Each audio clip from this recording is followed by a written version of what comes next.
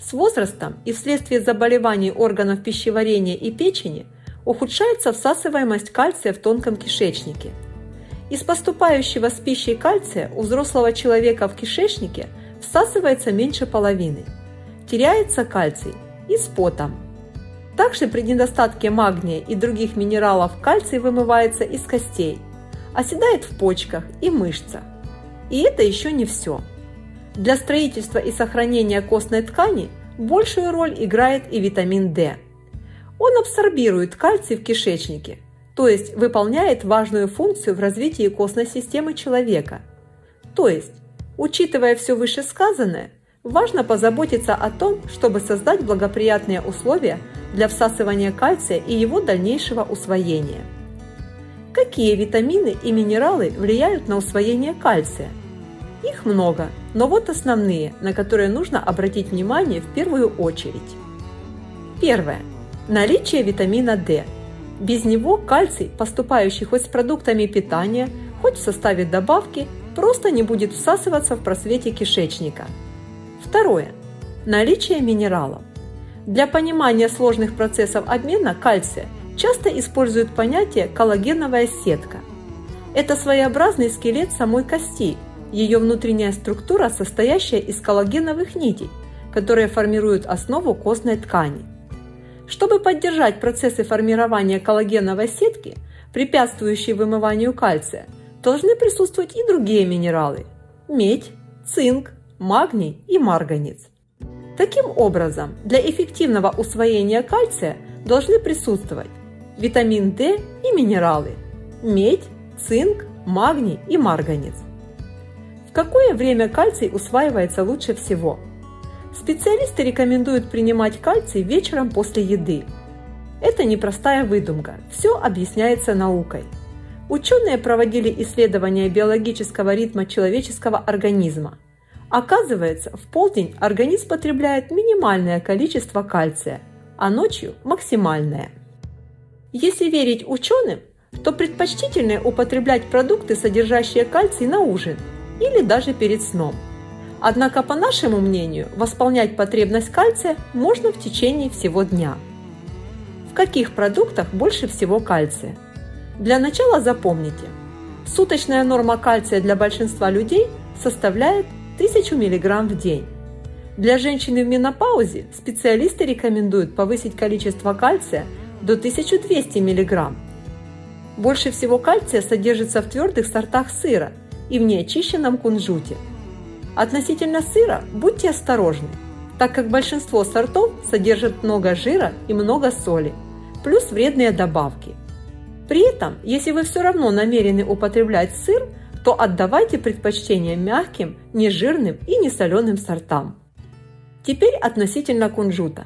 В интернет есть много неточной информации о кунжуте и содержании в нем кальция. Есть один момент, о котором нужно знать.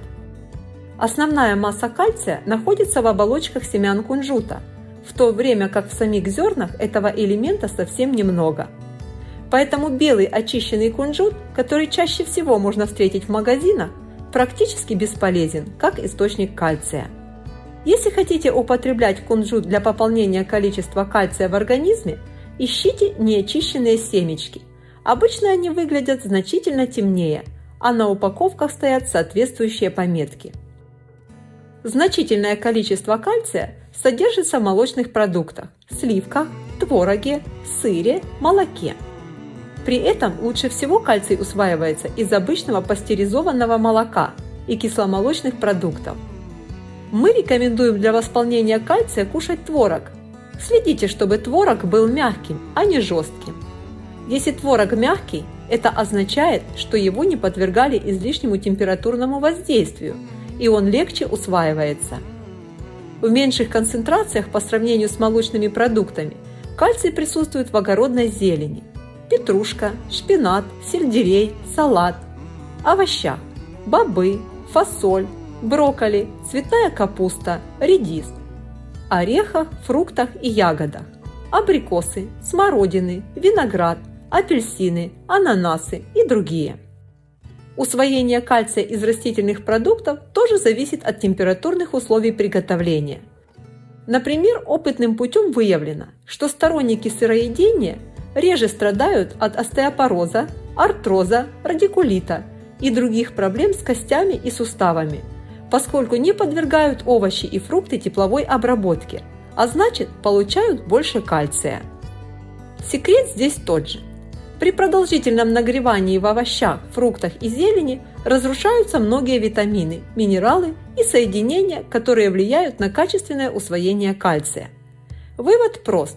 Старайтесь есть больше сырой растительной пищи для получения не только кальция, но и других необходимых витаминов и минералов. С кальцием немного разобрались. И теперь поговорим о витаминах и минералах, которые способствуют всасыванию и усвоению кальция. Где брать витамин D? Из продуктов витамин D получить не так просто. Однако он вырабатывается под действием солнечных лучей. Если есть такая возможность, чаще гуляйте на свежем воздухе и принимайте солнечные ванны. Предпочтительно в утренние часы до 11.00.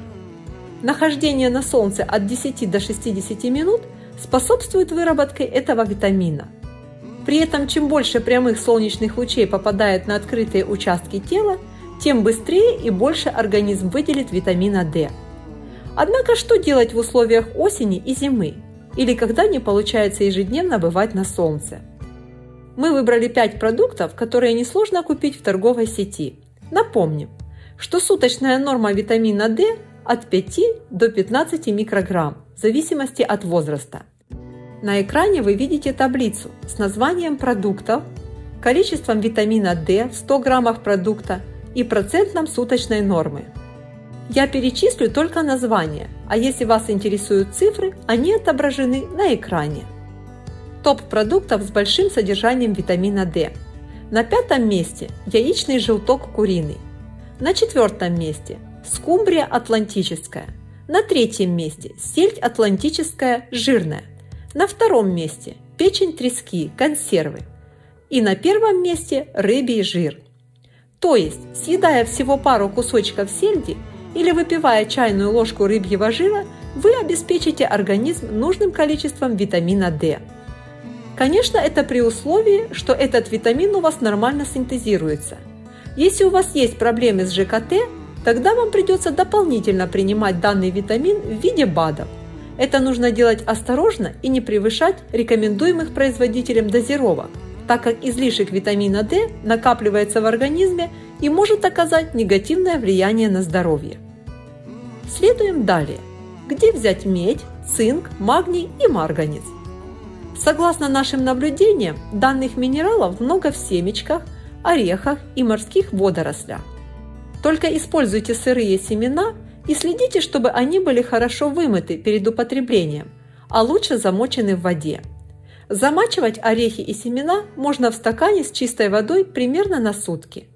Подробнее о замачивании семян вы можете узнать в интернет или пишите нам в комментариях, и мы ответим. Смотрим на экран и запоминаем. Где много меди? На пятом месте мак, семя. На четвертом месте подсолнечник, семечки – на третьем месте орехи кешью. На втором месте спирулина сухая. На первом месте печень трески консервы. Немного практики. Если вы планируете скушать творог, то обязательно добавьте к нему горсть семян и орешков. Так вы поможете кальцию усвоиться лучше. Еще один из вариантов. Вы можете скушать на ужин кусочек печени трески или добавить в салат спирулину а перед сном скушать нужное вам количество творога. Это также поможет всасыванию и усвоению кальция. Далее, где много цинка? Напомню, что на экране вы видите таблицу с названием продуктов и процентом суточной нормы. Я озвучу только название, а если вас интересуют цифры, они отображены на экране. На пятом месте тыквенные семечки. На четвертом месте морская капуста ламинария – на третьем месте кунжут семена. На втором месте маслята. На первом месте устрицы. Принцип тот же, что я озвучивала выше. Добавляйте эти продукты в рацион в нужном для вас количестве, и кальций будет усваиваться. Теперь вот какие продукты содержат много магния. Пятое место – миндаль жареный. Четвертое место – кунжут семена. Третье место – тыквенные семечки. Второе место – морские водоросли агар сушеные. На первом месте – морская капуста ламинария. И, наконец, вот какие продукты содержат много марганца. На пятом месте – овсяная крупа. На четвертом месте – фундук жареный. На третьем месте – фундук. На втором месте – мак семя. И первое место – манго сушеное. Итак, Кушайте молочные и кисломолочные продукты, а вместе с ними употребляйте продукты, содержащие витамин D и минералы – медь, цинк, магний и марганец. Продукты с кальцием и дополнительные продукты можно употреблять одновременно или по отдельности. В случае раздельного употребления сначала скушайте дополнительные продукты, а затем носители кальция. Так кальций усвоится лучше. То есть на полудник или ужин скушайте орешки или рыбу, а на ночь выпейте кефир или съешьте творог. Если у вас будут вопросы по теме, пишите в комментариях, и мы ответим.